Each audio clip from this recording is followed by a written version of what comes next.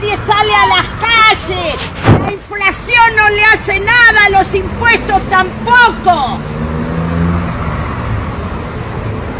Que valgan 50 veces más las cosas y van a salir a la calle, manga, rebaños de cagones los argentinos.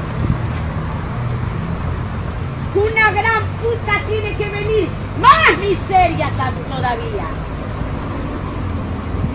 impuestos, más todo, que se caguen de hambre todos los rebaños de pelotudos que hay acá en la Argentina.